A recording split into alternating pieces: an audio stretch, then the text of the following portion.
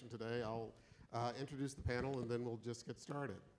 Uh, Jim is seated to my left. Jim Dao has been editorial page editor of the Boston Globe since 2022. He spent 30 years at the New York Times in various roles, including as deputy national editor, op-ed editor, and metro editor. Uh, during the Afghanistan war, he won an Emmy for a multimedia series on the deployment of an Army battalion titled A Year at War. Next to Jim is Katie Kingsbury. Uh, Katie leads opinion at the New York Times, which she joined in 2017 as deputy editorial page editor. Uh, she directed the Times Pulitzer winning editorials on race and culture in 2019. Before the Times, she was managing editor of the Boston Globe, where she won the 2015 Pulitzer Prize in editorial writing for a series on restaurant workers and the human costs of income inequality. Sitting next to Katie is Nancy Ancrum. Nancy has been the Miami Herald's editorial page editor since 2013, and she uh, has been a member of the Miami Herald editorial board since 1990, where she's covered municipal government, healthcare, education, and many other significant topics. She was a 2021 and 2022 Pulitzer Prize juror. And on the end, we have Zeba Khan. Uh, Zeba is the deputy editorial page editor for the San Francisco Chronicle. She was a senior facilitator and director of fellowships at the Op-Ed Project, a national organization that seeks to empower underrepresented voices in the national conversation. She was the 2018 John S. Knight Journalism Fellow at Stanford, uh, where we first met. So uh, let's get started. Uh, please welcome our panel.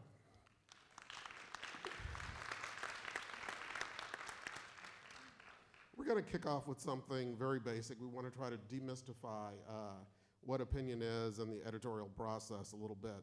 Uh, you all work for organizations with different resources and structures for opinion. Please tell us a little bit about the structure of opinion uh, in your shop. Uh, and let's get started with uh, Zeba. Okay, done. Um, so uh, we are a fairly small team. Um, we are at seven at this point. We grew to seven just recently in the last few months after being three for about a year. Um, and we focus mainly on local, which I'm happy to talk about more later. Um, what else did you ask about that? Uh, just the structure of opinion in your shop. So I just told. Oh, sure. So, so you have seven people. How are those divided? There is Sure. an editor or a deputy editor. Yeah, so we have a head of opinion, um, Matt Fleischer, who, um, myself as the deputy, um, a managing editor, um, a, an assistant editor, and then we have three columnists. Um, I think that's that's seven, so that's how we break down. Thank you. Nancy? We blend both uh, old school and new school. Um, we have a, a board of, there are four of us on the board. We have beats, um, government, education, healthcare. Uh, th- th- it's fluid though, Tho- those lines blur. And uh, we meet daily. Uh, this is the old school part, and discuss and discuss and discuss. Uh, have a lot of fun doing it, as a matter of fact. Uh, but the new school part is we also have uh, an audience growth producer dedicated to the editorial board, and she makes sure that our editorials, our columns, uh, and, and op-eds are pushed out, picked up by, say, Smart News, Yahoo, whatever, and, and bringing in the page views, bringing in the subscriptions. It's, it's, it's new for us on an, uh, on an editorial board. Oh, I have to worry about subscriptions? Fair enough. Thank you very much, Katie. That's really interesting, Nancy. Um, first, I want to just say uh, thank you all for being here. It's just so thrilling to be back at ISOJ after uh, the pandemic and to, to be in this room with you all. Um, so, I oversee uh, the New York Times opinion section. I want to start a little bit about talking about um, how we do our work. So, we are a, a collection of editors and writers and fact checkers and copy editors and audience editors, audio producers, videographers. It really runs the gamut in terms of the skill sets that we have in opinion. We are trying to obviously offer a breadth of perspectives on the forces that shape our world today and to help our, what is a global audience, um, understand, develop their own views, and ultimately kind of challenge their views in some cases. Um, we have about 200 people in Times Opinion spread across the globe. Uh, we are based in London, Seoul, New York, Washington, D.C., and San Francisco. Those are our main hubs. Uh, we have, um, of course, our columnist voices, people that you probably know well, people like Tom Friedman, Maureen Dowd, um, Bret Stephens, Ross Douthat, Jamelle Bouie, Charles Blow. Um, there are 19 of those folks. Uh, we have recently put in place a large newsletter operation. Uh, we also, I also oversee the institutional voice of the New York Times, our editorial board. We have um, a robust audio, graphics, and video. Uh, we just won our first Oscar for the New York Times, which we're very proud of. Congratulations. For- thank you for a film called The Queen of Basketball. Please watch it if you can. Um, and um, and then we have um, our outside contributors, what we call our guest essay operation. And that is a team of editors, again, who are looking for expertise and lived experience um, from a variety of different viewpoints. And um, those are what were traditionally known as op eds. Um, and then we have what we think of as our readers' voices, and that's letters to the editor, our comments section. We do a lot of curation of comments at this point. So uh, you joined the uh, Times, Katie, in 2017. Yes. So how has that number at changed and grown? I mean, because Yeah, there's a lot there. significantly. Yeah. Yeah, we've, we've been really lucky, the, the Sulzberger family and the Times itself. Um, Jim is my former colleague, and in arms on a lot of this effort, we were able to um, get a great deal of investment and to build out the uh, opinion operation. Great. Thank you. Uh, Jim, tell us about the Globe. So it's a little unfair for you to make me go after Katie. Um, um, I mean, I've been at the Globe now for about nine months, and um, I, I, having come from uh, the New York Times, I was the Metro editor there more recently, but I wasn't. I was the op-ed editor there for a few years, and um, at the Globe, I thought, well, this is going to be fun. It's a very small operation. It's about 25 people, and I've since learned that that actually is pretty big for um, uh, an opinions uh, section, it- as long as you factor out the New York Times. Um, and we're, uh, it- you know, it's a, it's a fairly traditional, or at least when I got there, it was a fairly traditional sort of organization. Um, there were columnists, there were columnists who wrote editorials, there were editorial writers who just wrote editorials, there's an op-ed team, there was a letter editor, and um, there was a copy editor, basically. And, um, and so, uh, you know, it's rather print-focused and uh, focused on the homepage. And, and what um, we're trying to move towards more is, are some of the things that Nancy talked about, for instance, and also some of the things Katie's doing, although on a much smaller scale.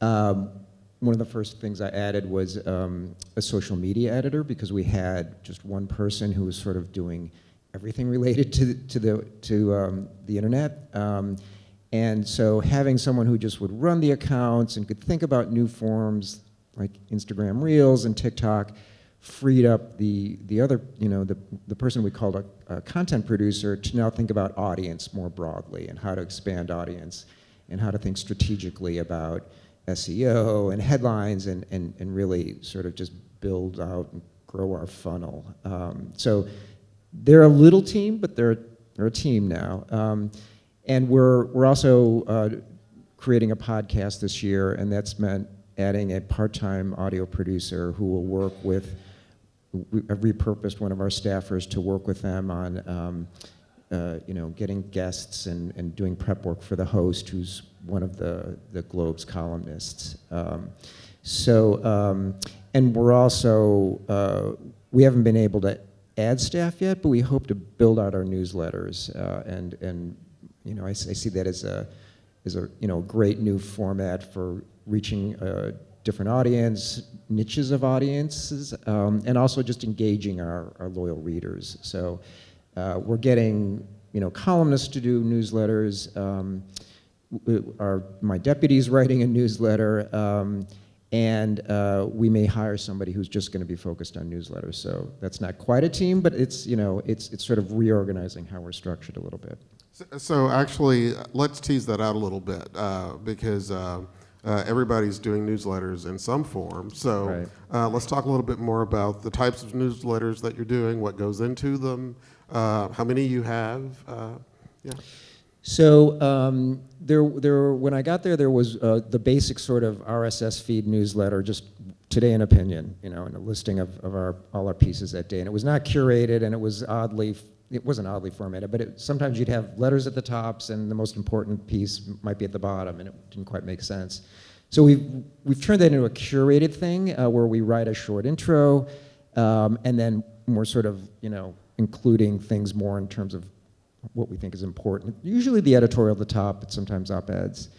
Um, and the Sunday uh, ideas section is included in that, which it wasn't before. Um, we've, I've encouraged the columnists to do their own newsletters. Um, the, the, the Times has done this, I think, quite brilliantly, um, where the, the, the, newsletters are just their own form of content now. They're not just a way to, you know, uh, provide links to, to, our, to our pieces.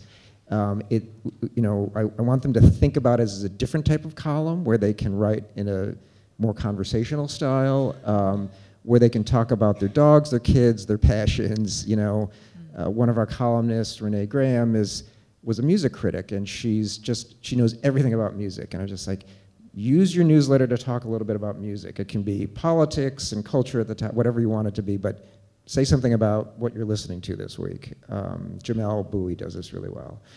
Um, Ross actually, Ross Douthat. He, Ross talks he, about film. The yeah. best newsletter he's written was about Fleishman is in Trouble, the TV show. Yes, yes, yeah. yes, um, terrific. Just and adds another dimension. I'll just quickly add two other things. We, you know, we, we, we want to think a little bit about pop-up newsletters, just as like attacking issues. We, we started one in the fall when the, uh, the MBTA, the T, the subway, the, the transit system closed down for a month, and we thought, well, let's just do a newsletter to help people understand what's going on. It was started out sort of newsy, but it, it was so popular um, and got so many subscribers that we, we just extended it, and now it's about all transportation in the Boston metro region, which is a, you know, people are just obsessed with, you know. So it's cars, it's, it's, it's trains, it's e-bikes, it's, it's scooters, whatever. Like, we just try to talk about transit issues, and it's, it's written by our brilliant deputy um, editorial page editor who's really funny and interesting. Um, and we'll probably start a politics newsletter, is my guess, in time for the 2024 election. Um, so that's how we're thinking about those things. Great, thank you. Uh, I'm going to, let's go to Nancy and yeah, uh, the, the, the, Miami Herald has dozens and dozens of uh, newsletters, three of which are opinion newsletters. Um, and they are uh, by far the most popular, have the highest readership of all, all of McClatchy. Uh, we have a, uh, a, conservative newsletter called Right to the Point, um, Miami, the Miami Debate, which is just you know your general interest newsletter, and then a Spanish language newsletter that is tied to our sister paper, El Nuevo Herald. And we, each board member, and sometimes the growth producer too, we write, uh, we take, rotate and rewrite the intro. And, and as you know, James said, it, it can be personal. It can be, if you don't have the time, it can be based on an editorial that, you know, you've already reported, already written, and you put whatever didn't make it into the editorial into your intro. I wrote an intro, I was writing at 3 a.m. this morning at the airport. And, you know, it's great We've use of time. but we do use it uh, as a topper um, to get a little more value added out of content that we've already run that week. Great, thank you. Zeba, what uh, do you do at the Chronicle? Yeah, um, Opinion doesn't have its own newsletter, so we are part of the Chronicle's larger newsletter ecosystem, which um, usually we put out is the main one we add our pieces to is three times a week. There are some additional ones where we occasionally um, sort of have to, you know, advocate for a piece that we really think should have a wider audience in one of the more popular newsletters. And in those cases, we're going to write a little intro as well to distinguish it from just the op-ed itself, and it gives behind the scenes as a in my in one case, you know, as an editor, why we picked that piece, the process, because we want to illuminate to, to the readers behind the scenes how they can actually join the conversation in their own topics. Um, I'm curious to ask a question, if I can, to Jim, because I'm thinking about this. We talked about this last night about limited resources, and, and one of the bandwidth issues for establishing a newsletter is that it, it takes significant bandwidth potentially, um, but that you've found that you can use some of the uh, op-eds and repurpose them so they actually then, or the content goes behind the subscriber wall as well.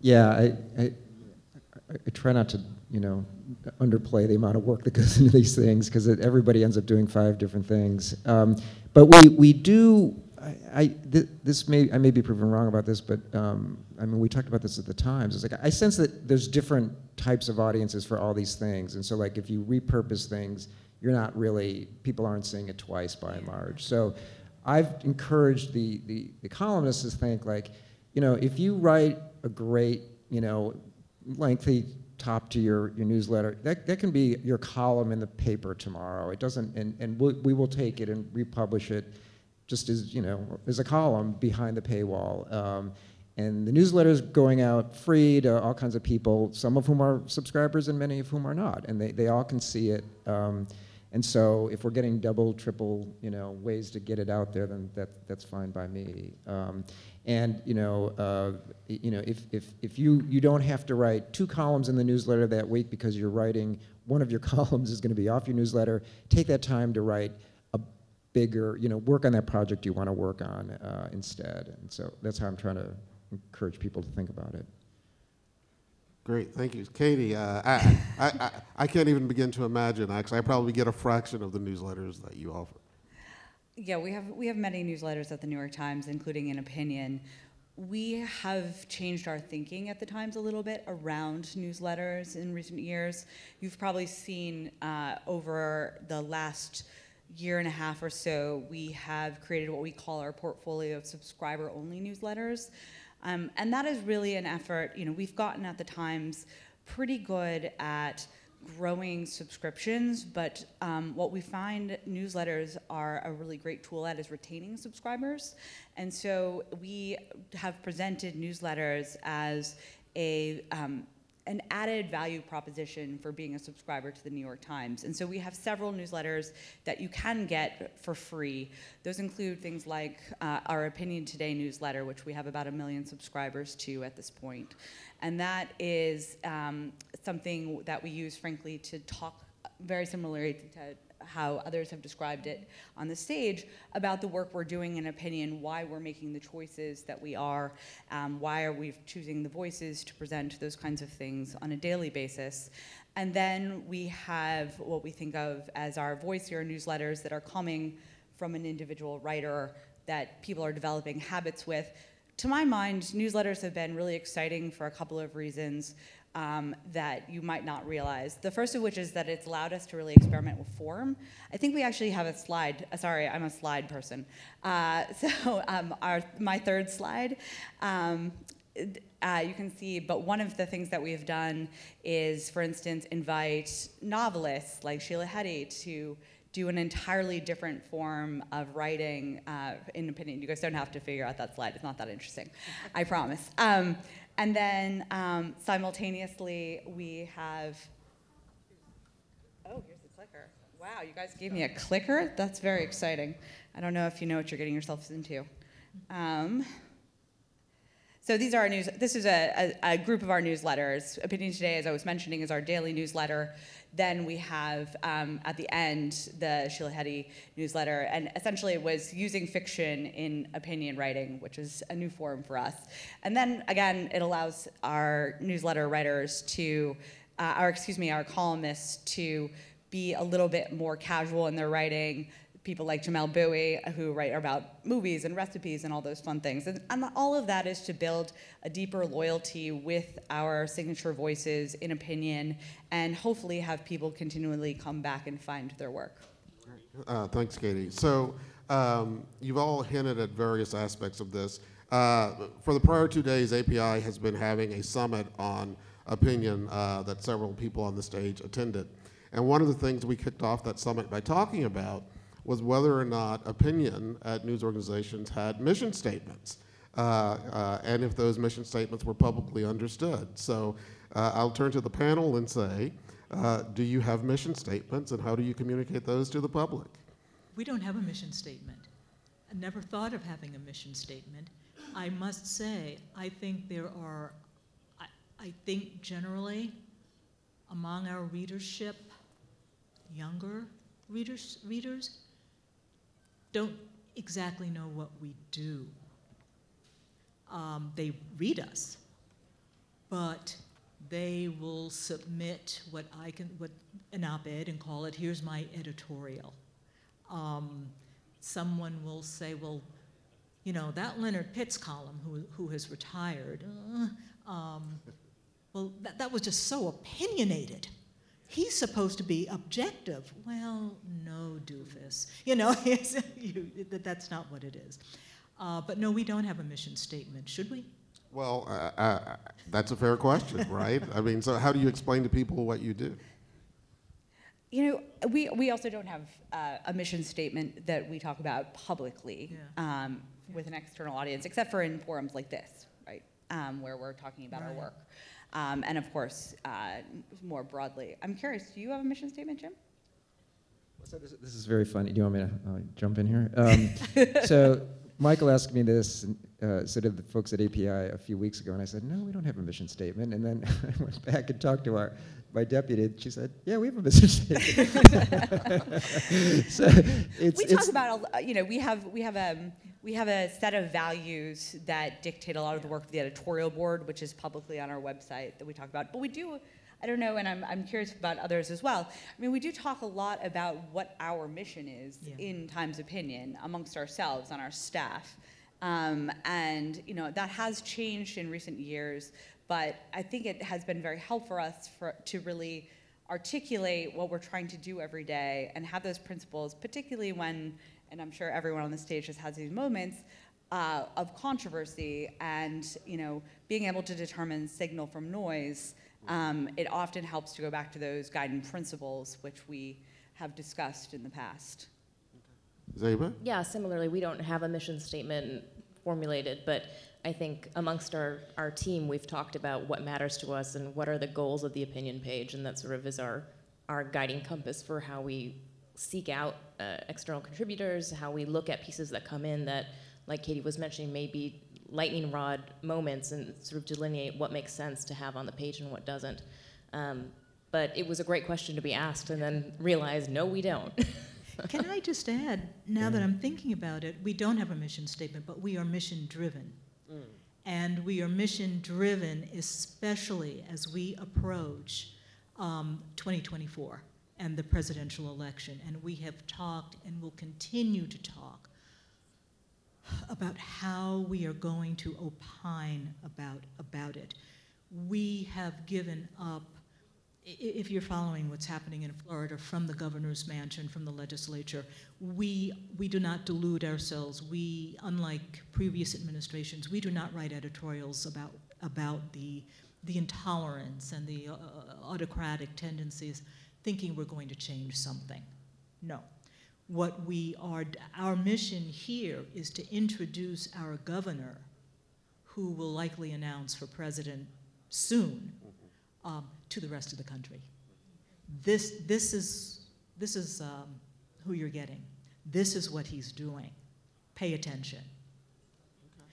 Can I add one thing? Oh, please, go ahead. Um, I'll just say that, you know, in the, in the, in the, whatever, the two weeks where I didn't think we had a mission statement, and I was like busily like trying to write one, and I was like, this is really hard. Um, but it was like, Well, we wanted you to do it in nine words. and you wanted to do it in nine words, which was, and as I discovered, our actual mission statement is about 40 words, so uh, it would have failed that test. But it, but the exercise of thinking about it really, I think, was really fantastic. It, it really helped me just sort of crystallize thoughts. And even though what I came up with was probably even longer, about 60 words, um, it did make me, force me to sort of like think about priorities for the department, how, just how I think about it and how I think my colleagues think about it. Um, some of which could be upward facing, but a lot of it could be very, as Katie said, you know, just really useful for us to think about our priorities, how we do our budget, even how we should think about submissions and that sort of thing. So, But I do think just adding to that, there's value in communicating some version of it to the public. For us, there's a lot of what Nancy said, confusion about what we do and how we delineate what an op-ed is. We have op-ed submissions to the letter to the editor and vice versa. So um, that process in the last two days and two weeks has made me think, okay, we need to put some time into educating. Transparency, transparency for sure around what we do, but also an educational aspect um, to invite more people into that conversation, which is what we want ultimately. Yeah, we had that conversation about a year ago. Yeah, we need to do this, and we haven't done it yet. but our intent is solid. So, um, as you think about that and what you're doing, how does uh, opinion complement the rest of the news organization's work, right? All the articles and everything that are coming out. Uh, and opinion is doing something that often touches on some of the same topics, but in a very different way. So, uh, Katie, why don't you start? Sure. So um, at the Times, opinion is a completely separate operation from our newsroom. I report to our publisher, A.G. Sulzberger, as does Joe Kahn, who will be here tomorrow. Um, we do not have any coordination of editorial um, decisions, period.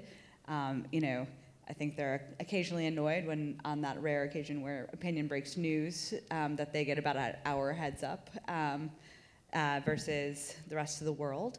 Um, but you know, we obviously do have, you know, we have shared resources around finance and uh, security and uh, those types of things.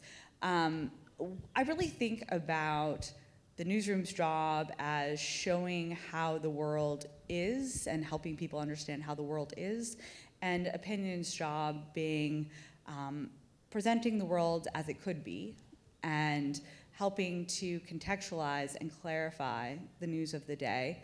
And in opinion, probably much like many of the newsrooms that uh, you all are working in, um, we really concentrate on having pieces that are responding directly off the news, um, and then um, trying to do more what we think of as signature work, work that you can only get exclusively at the New York Times. And that, of course, comes in the form of the 19 columnists that we have, uh, six of which we've added in the last year, because we do think that's so important for building reader loyalty. Um, and then um, we have made big investments in terms of building out our interactive um, capabilities and doing more and more collaboration across opinion. Great. Oh, well, and I know at the Chronicle there's a very different sort of structure. Um, so opinion is separate from the newsroom, um, but we uh, one of the things we've been doing recently is when we talked about this in the call is the the Chronicle has a larger project that reimagines what our city can look like post-pandemic called SF Next. Um, that's multimedia and has been has been developing in, in myriad ways. Um, opinion is separate from that, but there's some coordination when we've done pieces on housing and sort of how the bureaucracy of San Francisco to get anything uh, done. Um, and then there's coordination in terms of sharing that content after the fact um, and helping provide uh, larger platforms for those pieces. So we do share that. Um, but our columnists, and like this is something similar when I'm thinking off of what Katie had said, you know, for local, um, there's just a massive lack of um, information just generally. And so for us, our columnists are really excellent at digging down into different aspects of what we needed in the Bay and in California, whether that's a culture criticism of the city in, in different ways, or we have someone focused on state uh, politics, um, as well as somebody who really is in the in the weeds of the housing crisis. Um, that is the top of mind for all of us. So, um, bringing those stories out, elevating um, individuals and, and, that they meet in the city or at the state house, and telling those in compelling and interesting ways, we consistently cons consistently see that those pieces drive a lot of our traffic, which is just pushing the idea and confirming the idea that I think many people in local news know that the, the more local you are, the, the more you're meet, meeting a need of your, your audience, your readership, and your city. Okay. Nancy? Um, we are separate from the newsroom, independent of the newsroom. However, we talk to the newsroom. We don't coordinate. We do like to know what's on their budget. And the newsroom actually, newsroom leaders have complimented us over the last few years for being out ahead, doing quicker turnarounds than, you know, everyone has a bandwidth problem, mm-hmm. including the newsroom. Um, you know, I'm reminded of, you asked what does the, what do the opinion pages add?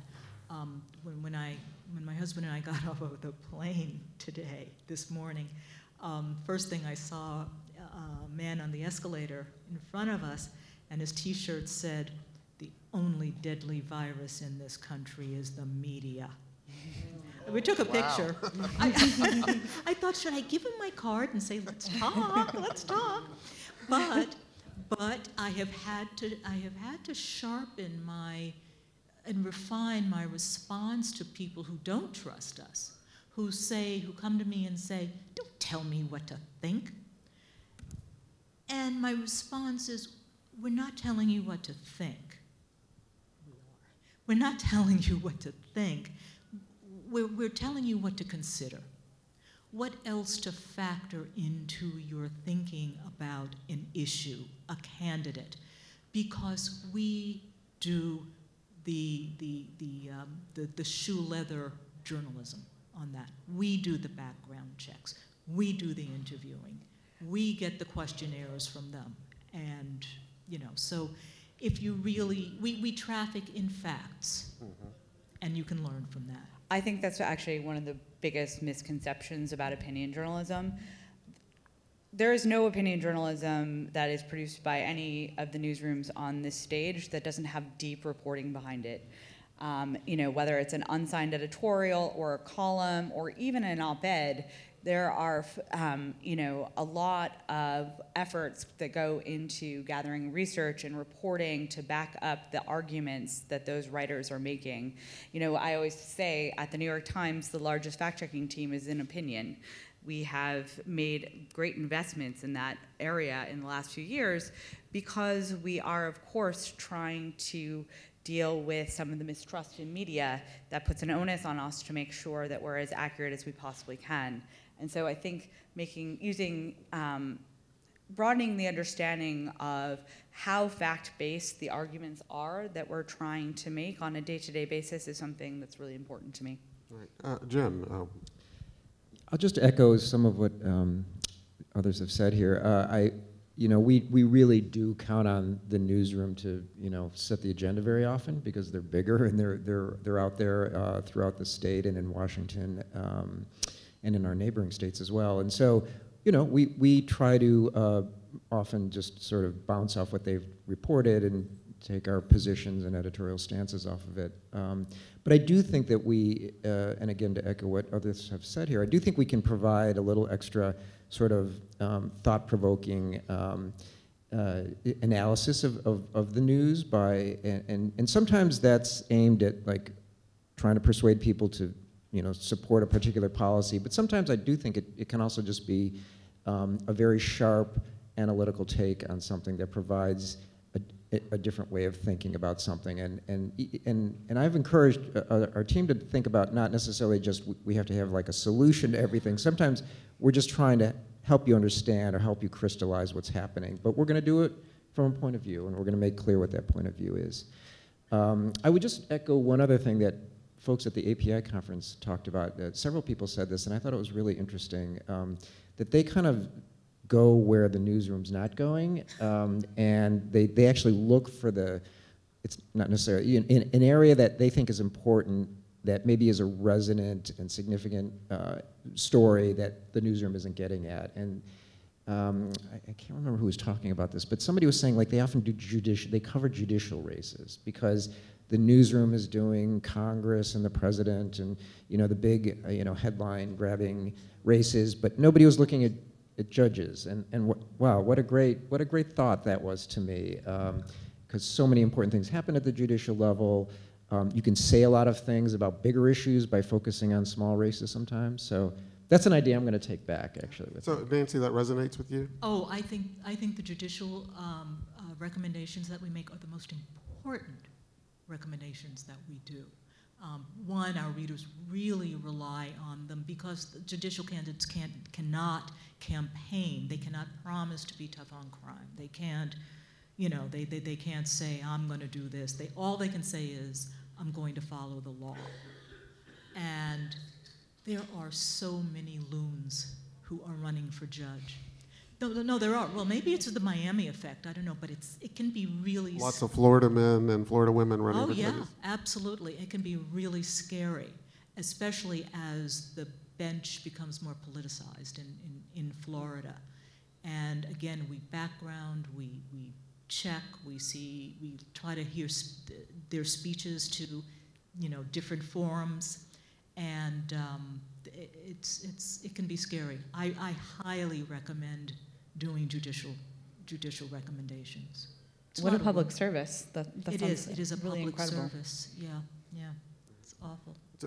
Just echoing, yeah, it's a public service, and for us, we found it's one of the deep, it resonates with our readers. We see those pieces being shared and page views and clicks really, really high um, during endorsement season, and I think it's to what you said, there's no one else doing it. Um, so that's part of the role, I think, for opinion is to provide that service to the city. Katie, did you have something to, uh, to add? Uh, no, um, but I was um, one of the things that we've done recently is we are now putting on the record all of our endorsement interviews, and we include transcripts of each of those on our website. We annotate them. In some cases, we translate them. And what we have found is that yes, people are reading our endorsement editorials, but they're actually really engaging with those transcripts, and sometimes they make news and it um, has been just an added layer to the endorsement process that I think has been very helpful. It's a really good idea. So, um, going back to this relationship thing with the newsroom, what happens when what you're doing is in conflict or there's a perceived conflict uh, that journalists in the newsroom might have uh, with what you're publishing? Um, uh, there are, we know there are some examples at the New York Times, uh, um, uh, but uh, what about some of our other panelists? If not, we'll go to Katie.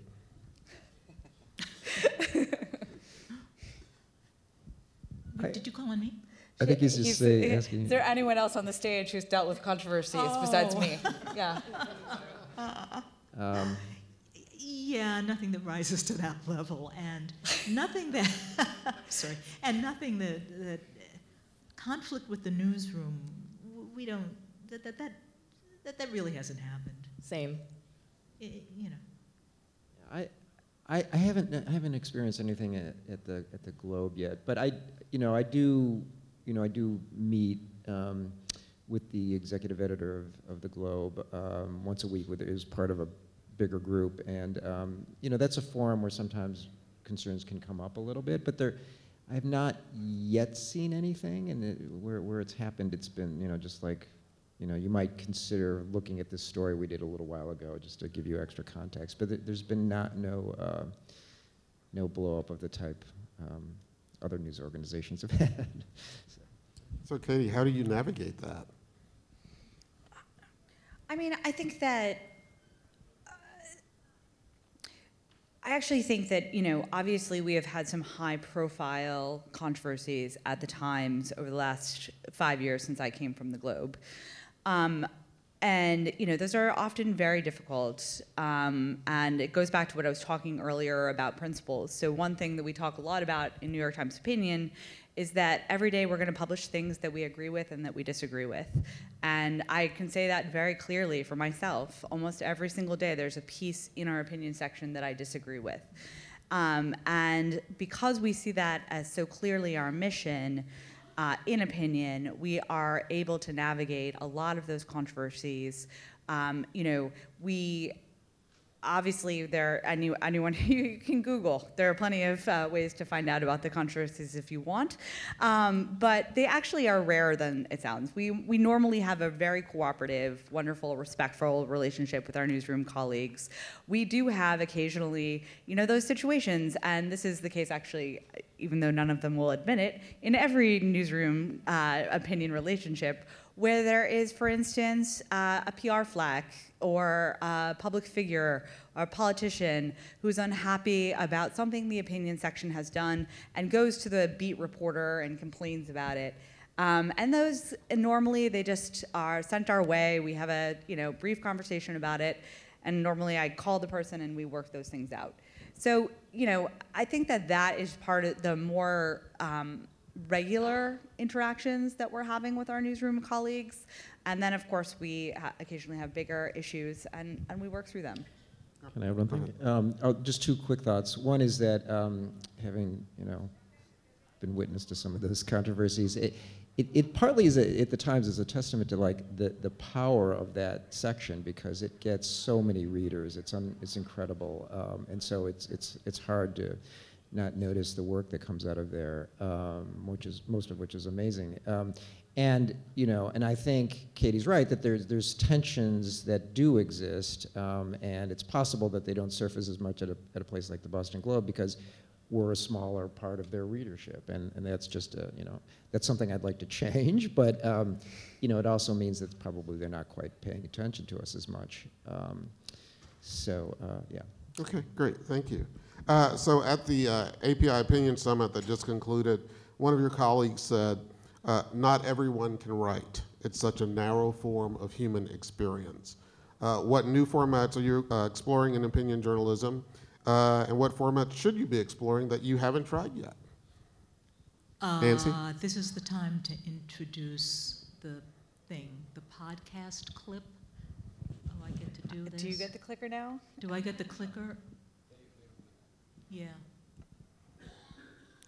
Yeah, the Miami Herald. Oh, yeah. This is Woke Wars, a podcast by the Miami Herald's opinion team, where we look behind Florida's culture wars. Welcome to Woke Wars. I am Isadora Rangel, and I'm joined today by Miami Herald opinion team members Nancy Ancrum and Amy Driscoll. Today on this podcast, we will talk about Florida's war against woke corporation. There have been a lot of instances. Let's let's not forget Nike and Colin Kaepernick.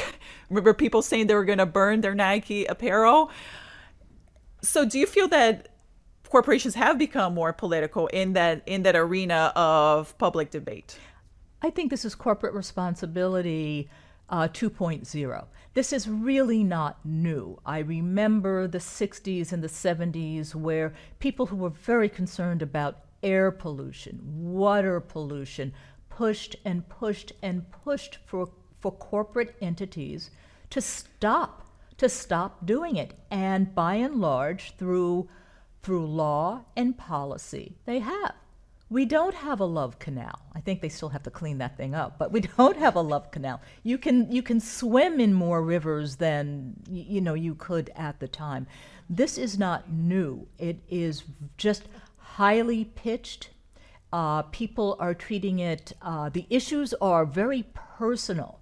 Um, you know, anyone and everyone can come out for a clean river, but um, targeting LGBTQ, targeting DEI, which might help uh, people of color, women to progress or access opportunity. It's much more uh, personal and uh, uh, mean spirited this time around. Well, I think the governor does, does a really good job of framing issues for people. And uh, often there are issues people didn't even realize that they had.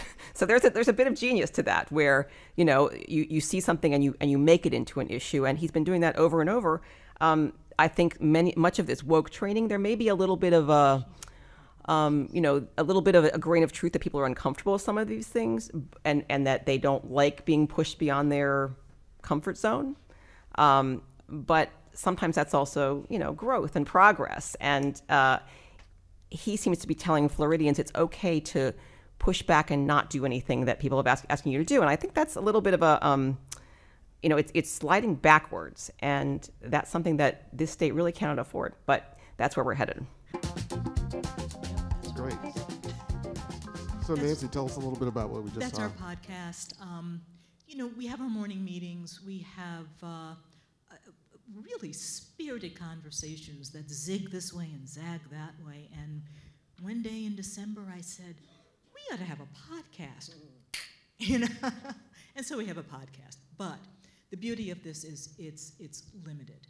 It is pegged solely to the legislative session, which started at the beginning of March, and it will end in a few weeks we're, we're using this as a branding uh, exercise. We don't have anything to compare it to. I think, you know, looking at the numbers, we have a lot of people who are watching it or listening to it. It's both video and audio. But I don't have anything to, co- to compare it to. And so we're not ready to continue this. It's a lot of work. Um, the, the, the back end was especially a lot of work, but the audience growth producer was great uh, in really getting this set up. Sitting down and you know talking among ourselves is uh, the easy part. Our concern is that we all we all end up sounding pretty liberal. We do intersperse um, uh, audio of the governor or anyone else speaking in opposition of what we ultimately are saying. And we also bring some nuance. We don't all think alike.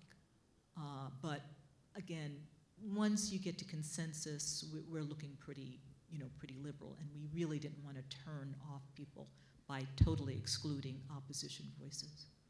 What other new formats are uh, you all ex- uh, exploring or considering? Zeba?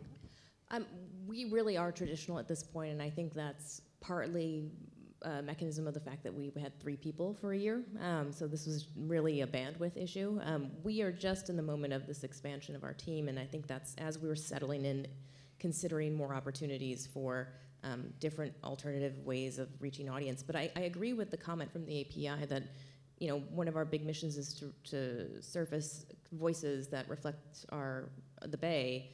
Um, and not everyone's going to come through the written word. So podcasts, video podcasts, op-eds, those all make a lot of sense. Uh, two things I wanted to mention from the API um, summit was the LA Times was showing, Terry from the LA Times was showing us video letters to the editor, which I thought was really interesting. Um, Yeah, you know, fantastic. it's they're really well done and they're not just the letter they actually go behind the letter and talk to the, the person who wrote it um, so that people can have an understanding of where this view is coming from and the story the human story behind the person who wrote it um, just sort of increasing reach increasing uh, signaling to the city that you know this is a platform for everyone for all of you um, and I think that's a really powerful uh, example that folks might want to take a look at. I know I'm going to be pondering that as I return to the to the Bay.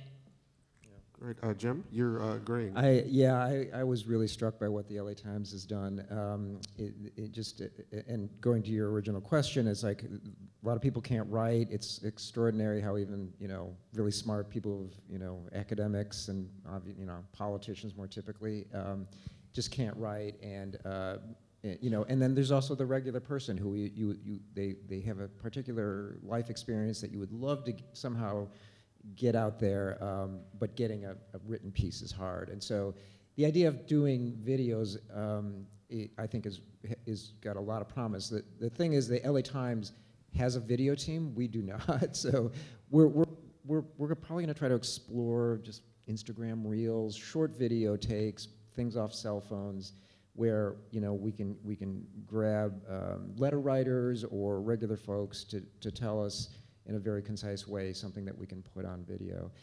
I'll just add also that we are I, I see podcasts as the same way because like it, it's um, very often podcast guests are writers and they could they could write you an op-ed but like a 30 minute conversation might bring out a lot of things that uh, don't come out in that op-ed um, where you can talk sort of behind the story of the story and you can get ed- added context. And so that's where we are pushing towards doing a podcast like that. It'll be um, a little bit different from um, Nancy's in that it'll be sort of a guest uh, guest with a with a host in a conversation for 25 or 30 minutes, um, and we're uh, we're very excited about that.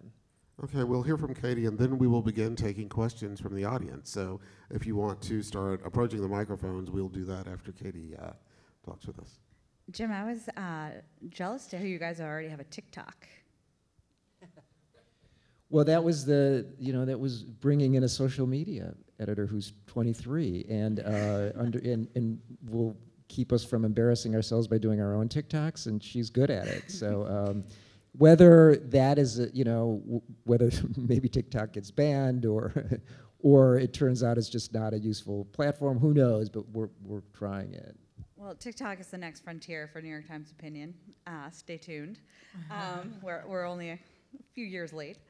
Um, so, as I was mentioning earlier, we have expanded a great deal uh, in opinion at the Times, particularly when it comes to multimedia. We think of a lot of these efforts still um, as ways to find new audiences for our journalism. So, for instance, we have built up um, a large, I, I- mean, large for the standards of the uh, stage, but um, uh, team of video um, producers and uh, makers. We have a legacy product in OpDocs that we built upon, but now we create our own original films. Um, and we see when we do that, that we, and you know, I have another slide, I'll spare you. um, I think it is number eight.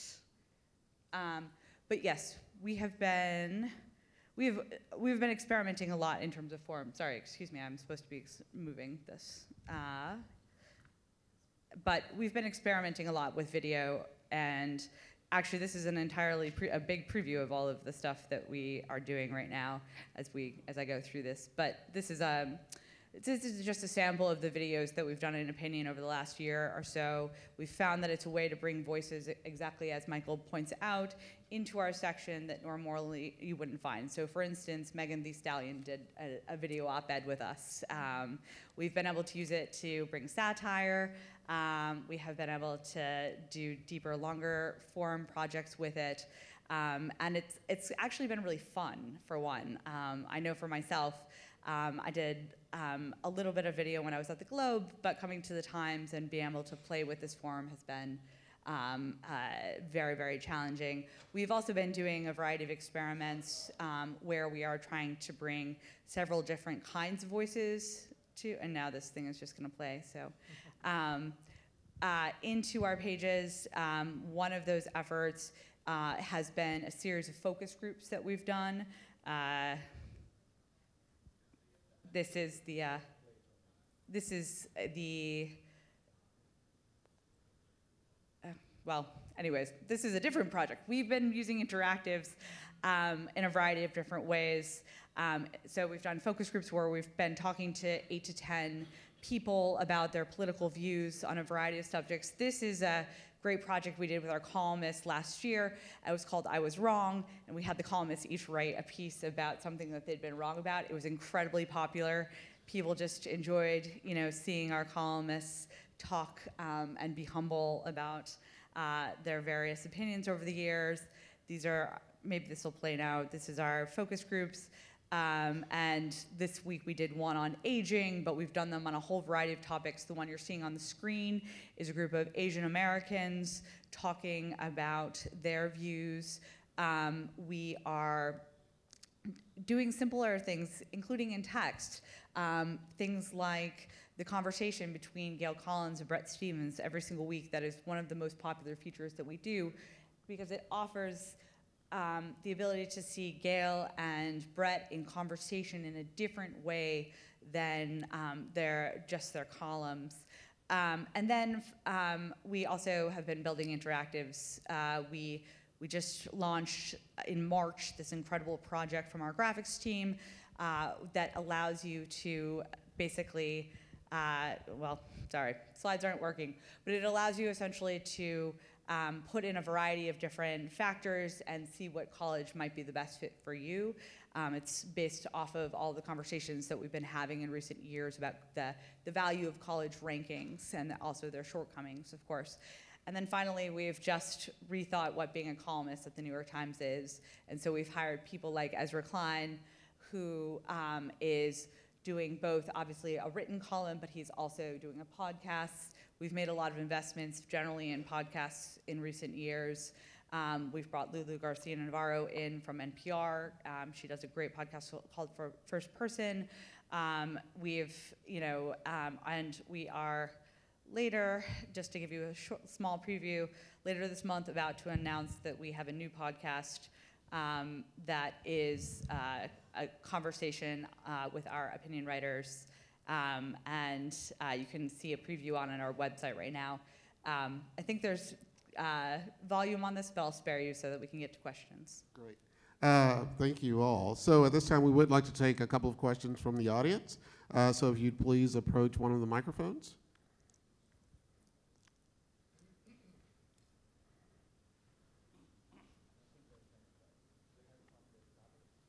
Well, let's see if we have. There's, there's one right there.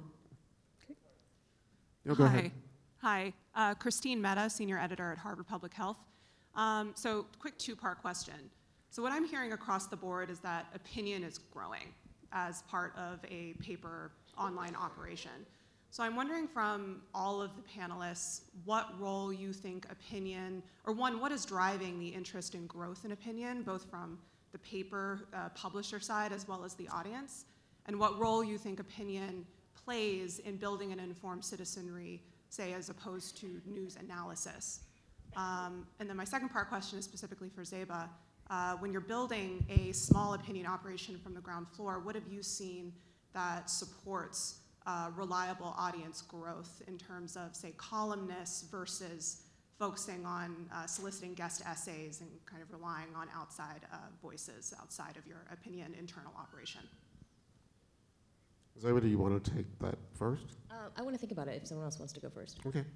Um, the question about opinion growing and why, I think, I think it's because these days, as opposed to 50 years ago, 100 years ago, everyone is an opinion writer. Everyone has an opinion.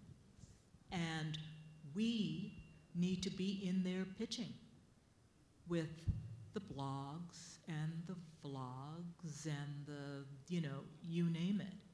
I think it has, it's kind of like, you know, you want your restaurant to be on a busy street of other restaurants um, where, you know, a lot of, a lot of foot traffic as opposed to, you know, in the warehouse district. I, I think it's something like that. I think, I think that people are interested in being challenged, interested in challenging opinion writers and opinion makers. And again, we are in the mix, and people are interested in what, not necessarily in agreement, but interested in what we have to say. Uh, Jim? I was just going to say, it's not growing everywhere. There, as we learned at the API uh, summit, uh, there's a lot of places that no longer do endorsements. They've had their opinion sections cut. Um, the New York Times notwithstanding, I mean, there, it's, there, there's a lot of places where it just doesn't even, it barely exists. There's essentially letters sections. So um, I do think that, um, you know, speaking for the Boston Globe, for instance, I think our ownership feels like opinion is a crucial part of sort of the civic mission of the, of the, of the organization, and that taking positions on policies is, is, is critical for that. Um, but not, that doesn't exist everywhere.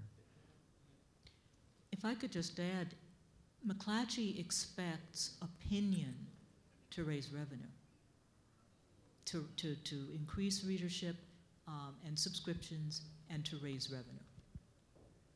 That's another mission that's driving us. Great. Uh, Zeba? Um, so I'll try to get both of those. So to the first one, I think the distinguishing thing I think that opinion can do, at least with our paper, is a lot of first-person narrative, driving ideas. Um, I think that's more engaging for some readership, and so that's why they keep coming back and sharing those pieces because it touches on a human connection, on a bigger idea that may be backed by, I mean, it will be backed by data and, and evidence, but the, the vehicle is that narrative, and that can be quite powerful. Um, I think in terms of bringing, what was the question about growth? You had said growing a team. Yeah, in terms of the structure of your team, columnists versus, say, soliciting exclusively guest essays, you know, what do you see building audience engagement and loyalty? I think both in different ways, and so and, and even also endorsements. Like I think in California, you know, our bureaucracy is is legendary. Um, and so I remember one of the during endorsement season, um, and we didn't actually make an endorsement on a very unique issue called the Board of Equalization in California, and it's our tax board, and it's crazy.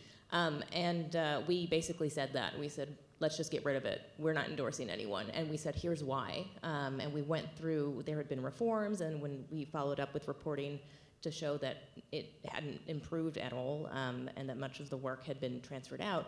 And the response was not only was that shared many times over, but in the comments section, a lot of, you know, for once I agree with the Chronicle, like a lot of sort of like, you know, not doing just doing the norm because you're supposed to pick a side, but actually just call, going to the root of the issue. I think people are looking for solutions um, and being honest about that. That also, I know that particular piece led to a lot of conversions for subscriptions for us.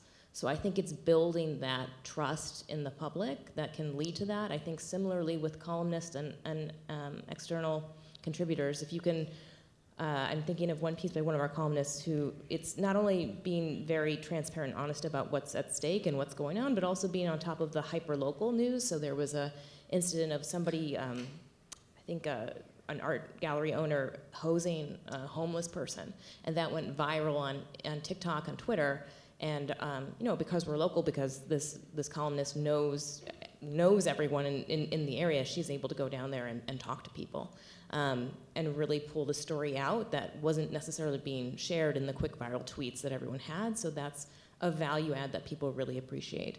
Um, and then similar to, to external contributors, I think it's about, and this is a larger question about representation and voice, making sure you're reaching out to every different, as much as you can to the different pockets because you're indicating for a, a city that historically, and this is true in many places, didn't talk to everyone and wasn't talking to everyone.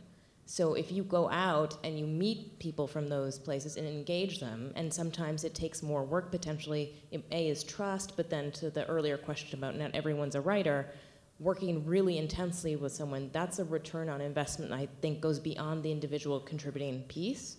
Um, it, it signals a larger message to that demographic in society. It potentially will increase your op-eds, but there are ripple effects in terms of what we do when you do that extra work um, that translates into subscriptions and loyalty. Uh, So, thank you, Zeba. So unfortunately, we're running out of time. Uh, We'll take one quick question uh, from online uh, that uh, will uh, be an interesting way to wrap things up. That question is, would you say opinion journalism is still dominated by white men? White men. I, I don't know. I mean, no, really, I, I- don't know. I know that we're, um, my board is all women. Um, not done by intention. Um, we get pushback for that, which I understand. Um, but I, you know, of the boards, of, of the newspapers that I read, if it is still dominated by white men, I'm not going to be, I'm not surprised at all. But I think that, um, at least the larger papers have done a pretty good job of diversifying in, in many ways. Great, thank you. Uh, Katie? Yeah, I actually, I, I agree with Nancy that I don't have the exact statistics to back up what I'm about to say, but I do think that um, everyone on the stage, especially, um, but really our colleagues across the board uh, in opinion operations, have made a very concerted effort in recent years to offer a wider breadth of perspectives, um, expertise, lived experience, and a lot of that um, is around. Uh, you know, gender and race um, diversification as well as ideological diversification. And so, you know, we've done that very specifically at the New York Times. I think that if you looked at our columnists lineup today versus um, just a few years ago, we have done things like brought in Carlos Lozada from the Washington Post, who is our first Latino columnist, who I hired in September. We have um, now uh, Lydia Polgreen, who is writing about international affairs, um, Tressie Cottom, who's writing about um, cultural issues. We have done a ton of work, started under Jim's leadership in our op ed section as to making sure that we are doing a better job of having that gender balance. Uh, as well as racial diversity and uh, again ideological diversity in our pages and then the other thing that we've been doing um, and then I, i'll pass it off uh, is we have started to, you know, politics, foreign policy um, are always going to be the bread and butter of the New York Times opinion section. It's often what people come to our section to read about.